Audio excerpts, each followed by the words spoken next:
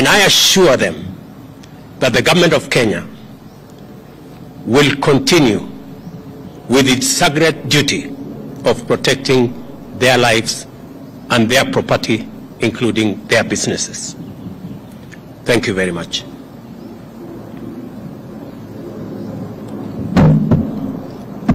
I can take one or two questions.